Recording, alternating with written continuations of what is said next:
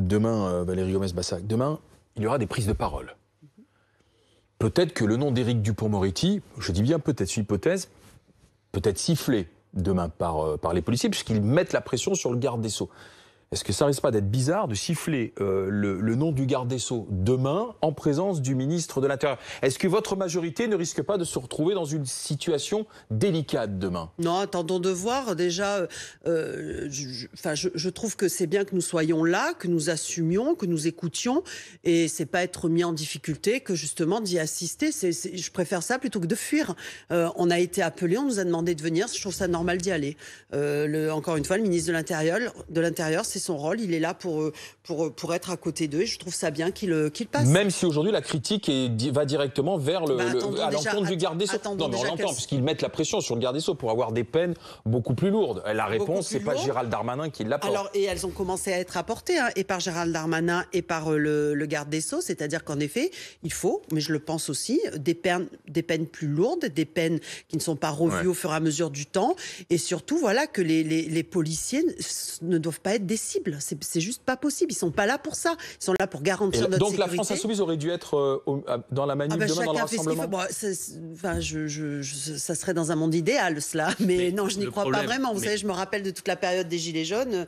euh, ils n'étaient pas du côté des policiers. Ah, vous êtes des, sont des anti-flics.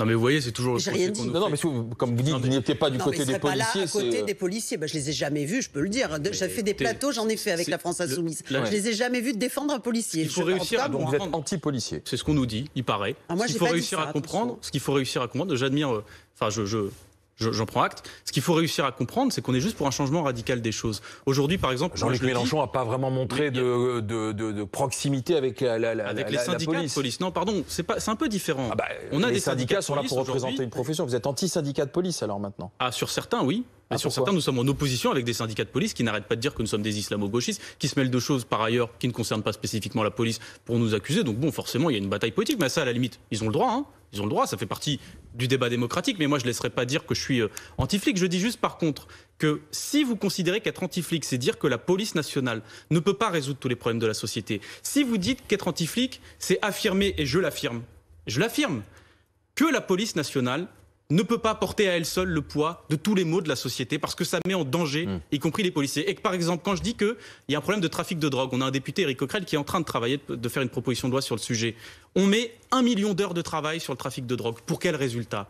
On fait 150 000 interpellations par an. Pour quel résultat? Est-ce que vous ne pensez pas que les logiques sécuritaires, à part frustrer les policiers et en plus les exposer davantage par rapport aux situations précédentes, ne, ne, ne fait pas d'autre chose que de créer du désordre? Non, Moi, je dis, faut les le politiques aujourd'hui, faut avoir le courage d'y aller. il faut Gérald démanteler- Darmanin- Il faut démanteler tous ces réseaux de, de drogue. Pourquoi Mais il y a plus de facile à dire. violence en ce moment? Ben non, c'est pas Bah oui, facile, mais on si a le courage de le faire. Justement. Mais non, madame, c'est là, y a les c'est plus à dire. Mais Bien vous- sûr, vous avez- et ça augmente la violence dans les quartiers. J'ai vécu mais assez vous avez le l'impression nombre que ça, marche, vos solutions? Mais ça- il, faut, il faut le temps d'arriver au bout. Mais 1000 actions, Bah, je crois, de, ans, on a quand même, 1000 hein. actions coup de poing. Eh bien, eh, eh bien oui. Et alors les actions coup de poing, c'est quoi? C'est arrêter des, des gens qui, qui ont des fraises tagada Parce que vous avez même communiqué sur ça.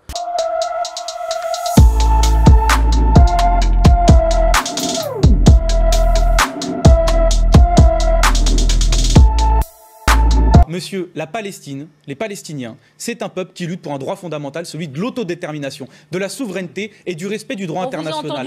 Aujourd'hui, il y a plusieurs résolutions de l'ONU qui condamnent la colonisation et qui condamnent les expropriations, à tel point qu'une Attendez, il faut écouter ça. Non, mais bien Il faut sûr, euh, entendre. David Guéraud, mais malheureusement, Vous avez- euh, l'heure tourne vous aussi avez et une ONG, thématiques. Human Rights Watch qui parle une oh, Human Rights Watch qui est pas qui est pas euh, une une organisation à la base c'est qui est pas une ONG qui est particulièrement proche de la Palestine et des Palestiniens qui parle qui accuse dans son dernier rapport de crimes d'apartheid David Guéraud, on l'État israélien.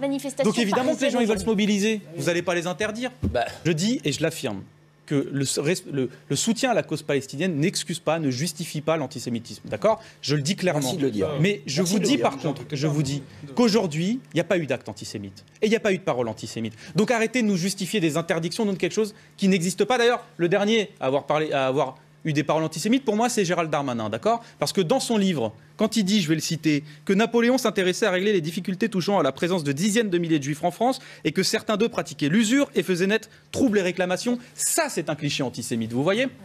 On parle pas de On va interdire le ministère de l'Intérieur? Mais on l'a appris, trois membres euh, d'un groupuscule euh, néo-nazi interpellé mardi dans l'est de la France en raison de soupçons sur un projet euh, d'attentat contre une loge maçonnique. Ils ont été mis en examen et placés en détention provisoire. Trois suspects, Même donc que, que deux la France insoumise en 20 parle, on n'arrête pas de nous dire que c'est un fantasme, la menace de l'extrême droite, que ça n'existe pas. Moi, je vous dis, non seulement il y a des groupes organisés qui agissent, mais il y a aussi des gens qui vont se rattacher à ces idéologies. Regardez, par exemple, quand on a, quand on a parlé de la dissolution de génération identitaire. Les gens nous disaient, mais non, euh, c'est pas dangereux, génération identitaire. Quelques jours après ce débat-là, vous aviez quelqu'un à Avignon qui était abattu par la police, qui portait une doudoune, euh, le vêtement des gens de génération identitaire. Une doudoune marquée génération identitaire, défendre d'Europe, etc. Ah bah, il y en a eu un, je peux vous le dire, parce que j'en ai, moi, un, un incendie attribué à l'extrême gauche en Isère. Pourquoi le parquet national antiterroriste ne s'est pas saisi? Et euh, quoi, ça, c'était. Voilà. Et après, il y en a d'autres qui ont été. quoi, Euh, Dans l'Isère, il y a eu divers attentats. Un incendie de quoi? Ah, bah, je, je vous renvoie à l'article du Monde. Un entrepôt d'Enedis. De... Ah non, l'ultra-gauche. D'ailleurs, même M. Nunes l'a dit. y a- bah, je vous renvoie à toute la. façon, Vous voulez que je le là? d'être Ah, bah, je peux vous le dire. non, mais d'accord, euh, on va suivre cette affaire de près pour savoir ce qui s'est passé réellement. Très bien, ils ont été écroués. Moi, je fais confiance à la justice de mon pays et aux policiers. Je vous fais remarquer simplement comparer le poids qu'occupent les deux menaces Non, et cette Enfin, madame, hypocrisie qui a à les mettre en balance. Alors, il nous parle Vous du ou des généraux, parle pas du terrorisme des nazis. On va parler des casques à pointe de la guerre de 14 Mais aussi, c'est un grand danger. bon, hein. attendez, Voilà, un jour, Attendez, vous fassiez de la parce que politique, vous avez fait, d'histoire. euh, c'est typique de la manipulation de Madame Cluzel. Elle nous a parlé de un projet d'attentat. Je parle d'un projet. On parle d'un projet d'attentat terroriste d'extrême droite, terroriste d'extrême droite, d'accord, aujourd'hui. Et Madame Cluzel nous dit oui, mais l'ultra. Alors, Monsieur Karam nous dit l'ultra gauche, et Madame Cluzel nous dit oui, j'ai un exemple euh, d'attentat euh, d'ultra gauche. Madame, vous parlez en Isère d'un incendie d'une ligne à haute tension. Est-ce que vous voyez pas Et d'ailleurs, le parquet euh, national antiterroriste n'a pas été saisi.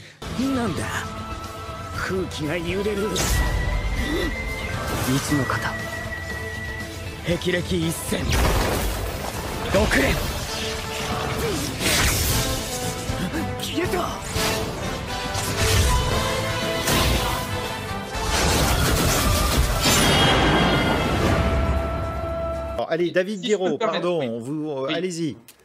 Monsieur Roquette, je trouve que c'est très intéressant euh, votre réaction. Pourquoi? Merci. D'une part parce qu'elle ne connaît pas le droit. Elle ne connaît Ah, pas le droit. Sûrement, parce En que- 2016, c'est pas que vous, en vous avez 2016, préparé vos fiches, vous nous avez lu les articles entiers du Voilà. code pénal. Exactement. J'ai bien préparé. Moi, c'est bizarre que ce soit moi qui, par- qui porte des informations à la connaissance du public et pas vous qui êtes journaliste. Donc, je vais vous dire.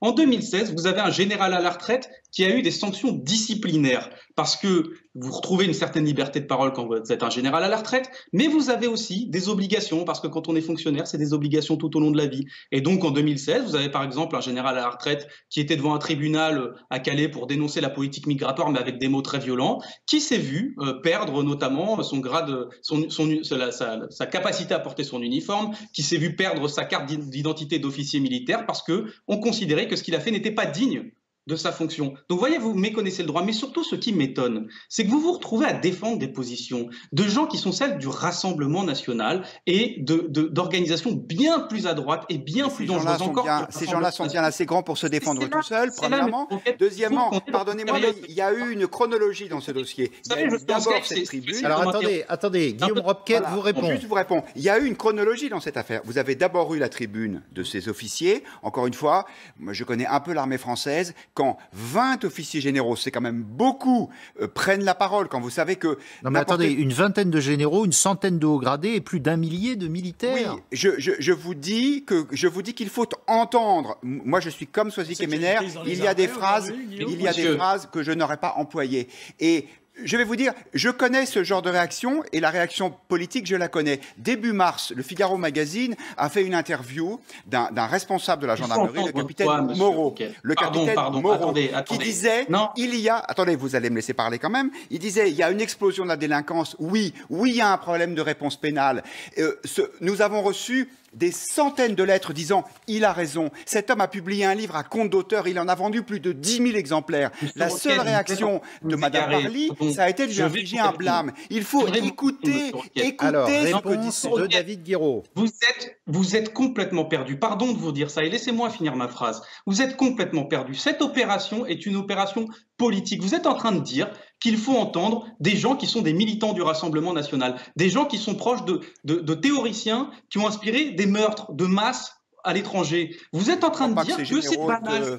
inspirer des Sur- meurtres de masse, pardon, mais Non, non, je pense que ça s'appelle des raccourcis Il ne et faut des pas les entendre. Il faut les condamner. Ces gens-là sont des militaires, des anciens militaires, mais ils ne représentent pas tous les militaires. Vous avez raison, mais ils représentent une partie de militaires organisés à l'extrême droite, organisés par l'extrême droite. Et donc, vous êtes un peu naïf, et c'est- je trouve ça étrange de la part d'un journaliste, de considérer que c'est une parole citoyenne ou que c'est une parole comme une autre. Non, ces gens-là sont organisés. Ils ont un objectif déstabiliser la République. Merci.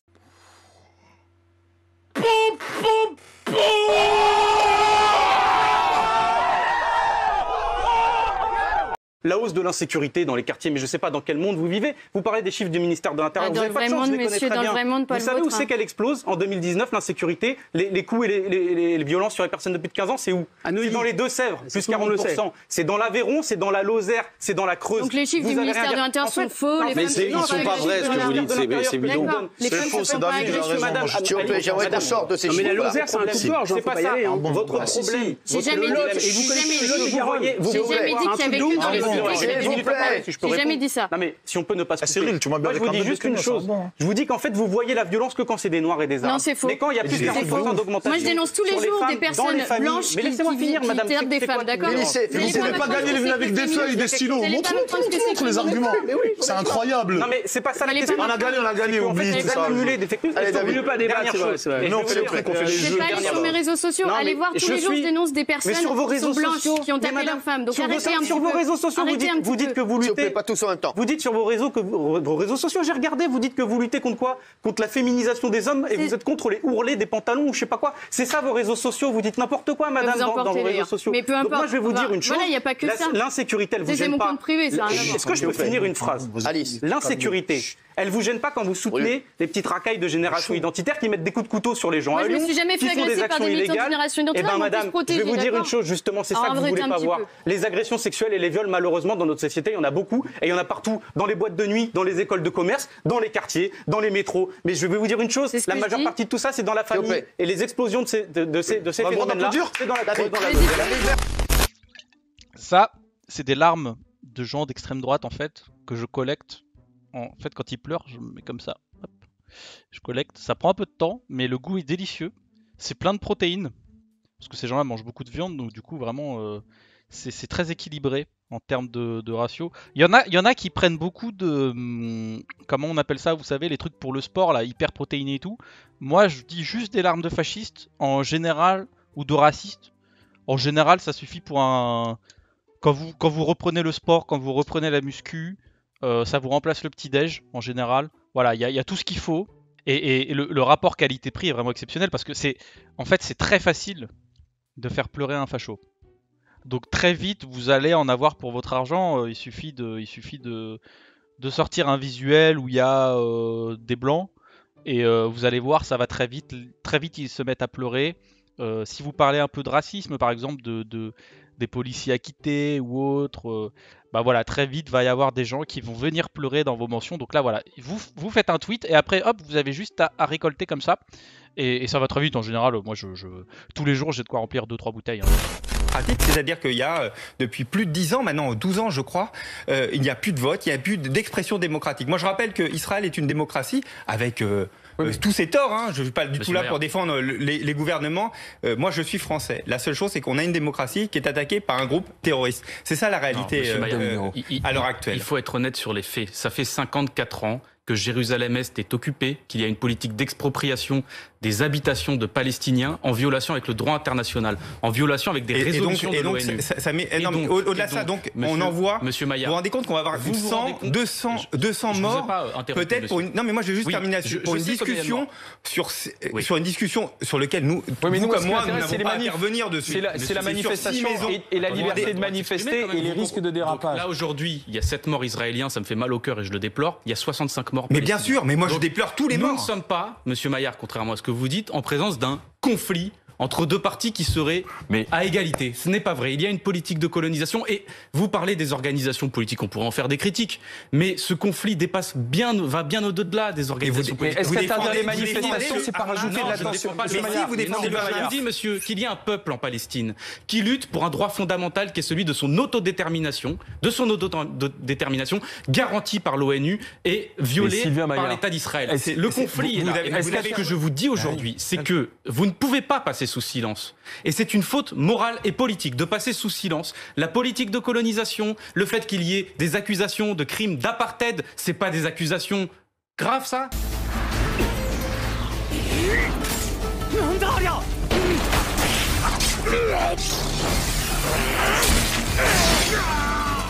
C'est le sujet on aujourd'hui, c'est qu'aujourd'hui vous tenez la main avec le Rassemblement national sûr. et tous les deux vous avez intérêt, tous les deux, mais vous entendez beaucoup de choses. Le problème c'est que, vous voyez, vous répondre ou pas? moi je vais vous dire, mais tout- vous n'avez fait que ça. Je vais vous dire votre problème aujourd'hui, c'est que vous êtes dans un monde théorique, vous êtes, euh, vous êtes dans un monde absolument théorique, vous ne vivez pas dans un certain nombre de quartiers très difficiles avec des habitants qui sont en souffrance. Vous n'êtes pas en contact avec les policiers qui vivent très sûr. difficilement. Bon, monsieur, on vous êtes d'accord pour mourir Non, pour vous 2000 avez- euros Vous êtes d'accord pour mourir, Monsieur mourir Patrick pour Caram. 1800 euros comme un policier. Est-ce que vous Voilà. êtes d'accord pour vous- ça Patrick allez-y, pour Vous avez, eu la parole.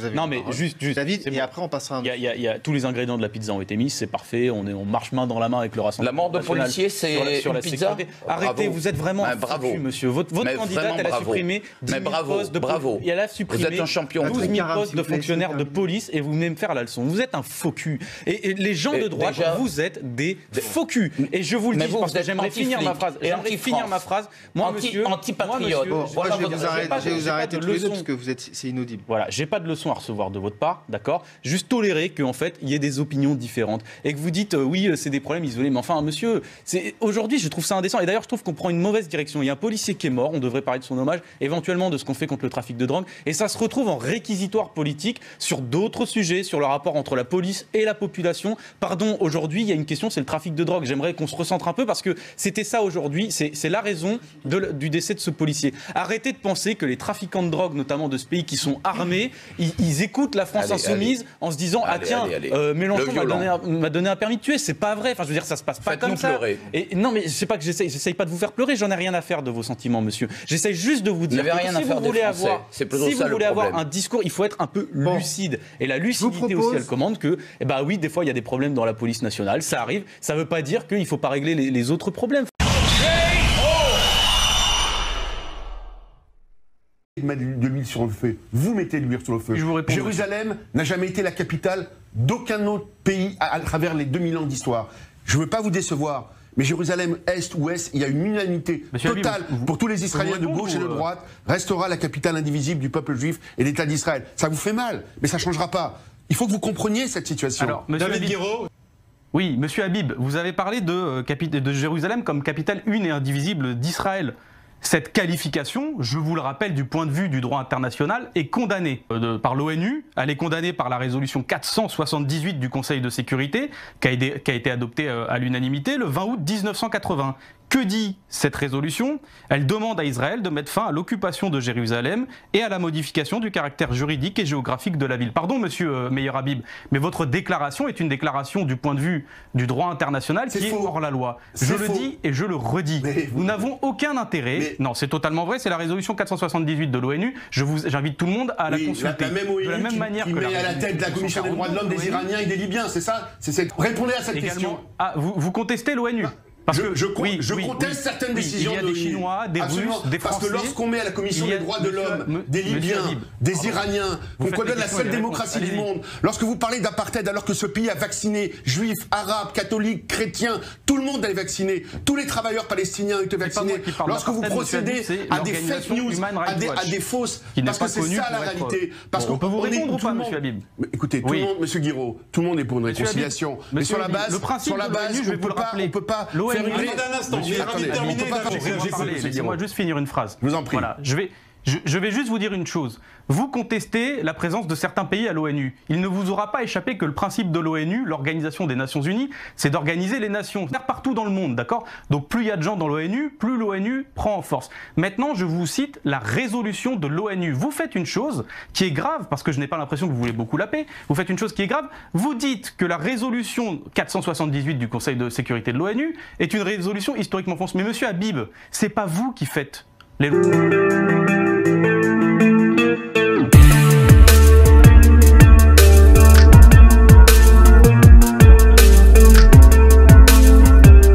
disait David Guiraud, moi je ne veux pas remettre en cause votre sincérité, évidemment. Vous dites que vous n'irez pas à cette manifestation parce oui, que je vous n'êtes- pas d'accord avec les, les revendications. Ça c'est un fait, vous avez le droit d'être en désaccord avec les revendications, effectivement c'est- très clair. Là on n'est pas surpris de, ce- de ce point de vue-là. Mais par contre, vous ne m'empêcherez pas de penser que quelque part ça vous arrange quand même. Parce que la réalité, c'est aussi que vous n'étiez pas les bienvenus dans cette manifestation. Ah bah, par, par rapport à certains syndicats de police, c'est sûr. Et vous savez pertinemment que si vous vous étiez rendu dans cette manifestation, vous auriez été accueilli euh, avec des sifflets et peut-être davantage. Donc d'un point de vue politique, ça ne vous aurait certainement pas servi. Et parce qu'on peut aussi dire, et ça c'est un fait, que votre électorat n'est pas le plus sensible à ce genre de mobilisation. Donc Je crois- non, mais euh, vous, vous dites des choses qui sont pas fausses parce que effectivement, à la base, on nous parlait d'un hommage.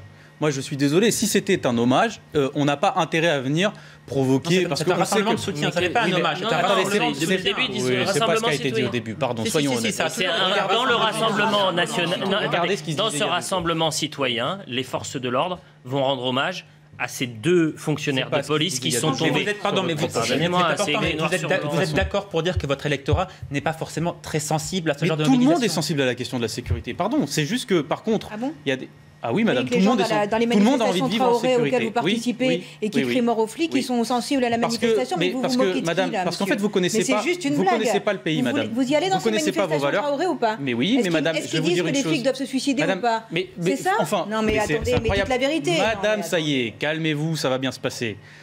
Il y a quatre droits naturels. ça, Quatre, il y a quatre droits naturels dans la Déclaration des droits de l'homme et du citoyen de 1789. L'un d'eux, c'est la sûreté. C'est une différence avec la sécurité, madame. Pardon de vous le dire. La sûreté, c'est aussi être protégé des abus du pouvoir, de l'État et de ses représentants. Donc, pardon, quand je vais à une manifestation policiers qui se font caillasser vous parle, jours, qui vous parle, Mais ça, ça vous est égal. Mais, mais ça m'est pas égal, Parce que madame. ce je sont le vos dénonce, n'y a pas électeurs de qui problème. caillassent la police, c'est Je viens de dire, je viens de dire en début, en début de mon C'est intervention. Ils votent pour mais vous, ceux qui. Mais caillassent la police. pas, madame. Bien qui sûr que vous n'allez pas aller à la arrêtez. Vous ne manifestation. savez pas de quoi vous parlez. Vous préférez aller le manifester avec Traoré qui, je demande à ce que les policiers se suicident. C'est ça votre C'est politique. ça. Madame Traoré demande. Vous savez que c'est passible de diffamation, ce que vous êtes en train de dire. C'est pas de problème, Madame, Madame Traoré n'a jamais demandé à des Mais policiers vous la défendez, ça c'est très Non, bien. mais ce que vous dites Mais est faux. les manifestations C'est- faux vous voulez que c'est répréhensible pénalement. Mais nous, contrairement à vous, on va pas aller devant les tribunaux, c'est pas grave. Vous êtes insignifiante. Parce que tout ce qui est excessif est insignifiant. Et vous, vous êtes le néant, Madame Saillé.